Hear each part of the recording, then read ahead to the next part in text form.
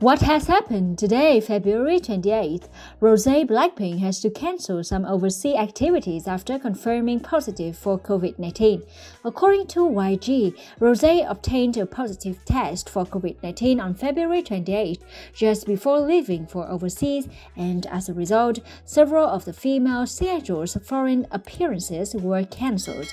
Rose is now exhibiting no unusual symptoms. Jisoo, Jennie, and Lisa, the other three members, all tested negative. Other than this news, we are happy to receive other exciting news. Jisoo Blackpink arrives at the airport with new hair for the Dior show at Paris Fashion Week. And that, at the same time, the couple of this century has officially announced their marriage date. Son Ye-jin and Bin will get married on March 30. A close relative of the couple revealed only family, friends, and acquaintances will be invited to the wedding, which will be held in secret.